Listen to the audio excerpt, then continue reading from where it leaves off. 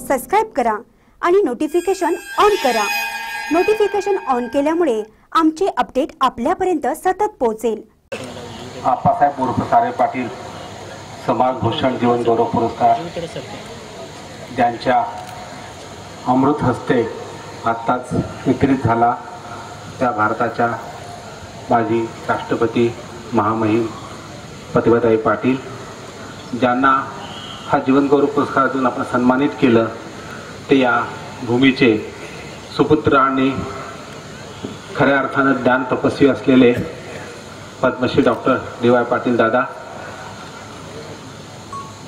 गणपतराव पाटील साहेब मंचावर उपस्थित असलेले कलपा आवडे दादा माने वहिनी सतेज पाटील साहेब खासदार राजू शेट्टी आमदार गवळी साहेब इतर सर्व मान्यवर त्या निवड समितीचे अध्यक्ष आणि साधना साप्ताहिकाचे संपादक विनोद शिरसाट आणि सर्व उपस्थित बंधू भगिनी आणि मित्रांनो आज एक एप्रिल आहे.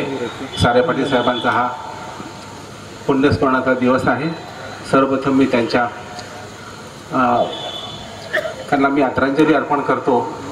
मी कोल्हापूरला साडेतीन वर्ष कलेक्टर असताना त्यांचा माझा जो संबंध आला होता त्या सर्व आठवणी आज माझ्या ता- मला ताज्या झालेल्या आहेत.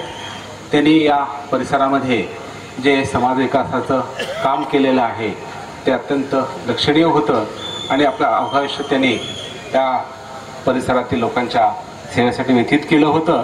त्याने अनेक संस्था उभारल्या आणि संस्थेमार्फत त्यांनी जे समाजाला योगदान दिलं ते अतुलनीय होतं. आणि त्यांचं हे नाव कायम राहण्यासाठी आपण हा पुरस्कार सुरू केलेला आहे. आणि यावर्षी आपण देवायदादा पाटीलांना देत आहोत. हा अत्यंत उचित असा पुरस्कार आहे. कारण दादांनी शिक्षण क्षेत्रामध्ये आणि आरोग्य क्षेत्रात जे काम केलेले आहे त्याला खरोखरच तोड नाही ते अतुल्य स्वरूपाचं काम आहे. मित्रांनो आपल्या कल्पना आहे की भारताची आजची लोकसंख्या ही तरुणांची लोकसंख्या आहे. खऱ्या अर्थानं हा तरुणांचा भारत आहे. कारण आपली पासष्ट टक्के लोकसंख्या ही तरुणांची आहे.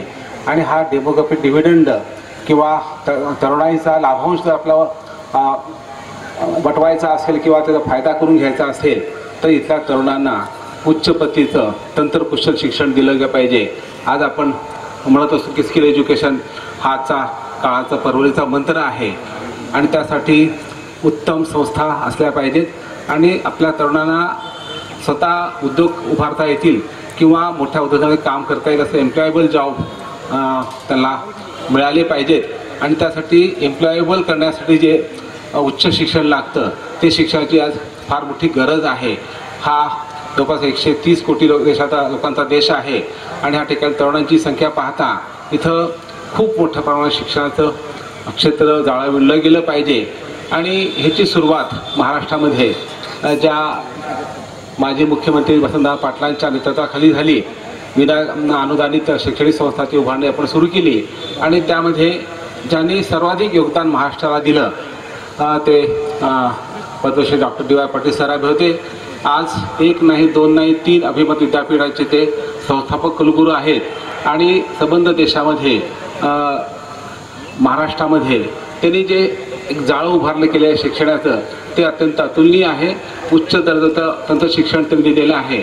आणि त्यांची त्यामागची जी भूमिका आहे फिलॉसॉफी आहे ती फार महत्त्वाची आहे की या देशाचं हा दे- देश मोठा व्हायचा असेल देश बलवान व्हायचा असेल जगामध्ये महासत्ता व्हायचा असेल तर त्याचा मार्ग हा आर्थिक सत्ता आहे.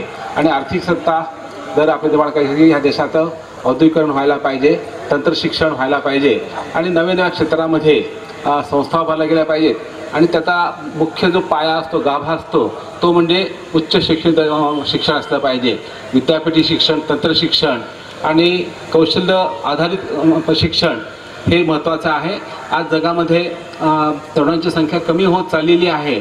आज जगाला आपण भारत उच्च दर्जाचे तंत्रज्ञ देऊ शकतो प्रोफेशनल देऊ शकतो. डॉक्टर्स इंजिनियर नर्सेस ह्याला आपण देऊ शकतो. आज लंडनची पूर्ण अर्थव्यव आरोग्य व्यवस्था ही भारतीय डॉक्टर चाललेली आहे. सिलिकॉन व्हॅलीमध्ये आज भारतीय माणसाचा खूप आहे. त्यामध्ये महाराष्ट्राचा वाटा वाढला पाहिजे.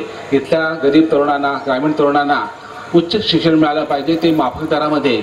या उदात्त ध्येयाने दादांनी जे काम सुरू केलेलं आहे आणि कोल्हापूर असेल नवी मुंबई असेल पुणे असेल किंवा आपलं मौनी विद्यापीठाचं मॅनेजमेंट असेल ह्या चार विद्यापीठाच्या माध्यमातून त्यांनी जे रचनात्मक कार्य केलेलं आहे आणि भारत हा खऱ्या अर्थानं शैक्षणिक गुणवत्तेमध्ये जगात अग्रेसर व्हावा हे त्यांनी स्वप्न पाहिले ते फार महत्त्वाचं आहे.